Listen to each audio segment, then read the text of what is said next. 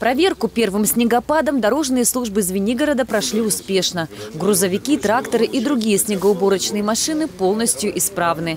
К слову, к внештатным ситуациям тоже готовы. В случае поломки технику оперативно починят на одной из ремонтных баз. Мы обладаем на данный момент четырьмя единицами э, тракторов МТЗ-82, которые очищают у нас э, дорожное покрытие, э, тремя КДМ, это для россыпи реагентов и пескосоляной смеси, а, малой механизации, э, дорожных рабочих у нас 25 человек.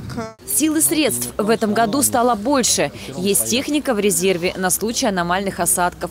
Закуплено тысяча кубов соли и реагентов. Причем первой отдается большее предпочтение.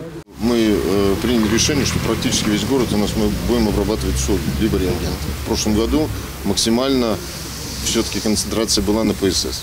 Угу. Поэтому я думаю, что качество обработки будет и лучше. И, соответственно, сейчас даже эта зима показала, ну, вернее, вот этот первый снегопад, что работали в основном только солью. Снег из Звенигорода планируют вывозить в Ершово на специально подготовленную площадку. На внутриквартальных дорогах, а также в скверах и парках зимнюю уборку будут проводить с помощью малогабаритной, а значит более маневренной техники. Численный состав э, в количестве 40 человек – а, плюс мотощетки, а, снегоуборщики ручные а, в количестве 20 штук.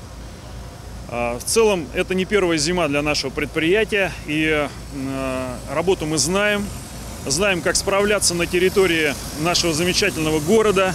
Глава округа дал поручение количество средств малой механизации увеличить как минимум на 5 единиц.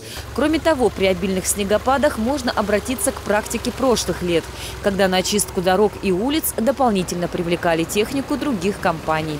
Полина Бахова, Артем Ломоносов, телекомпания «Одинцова».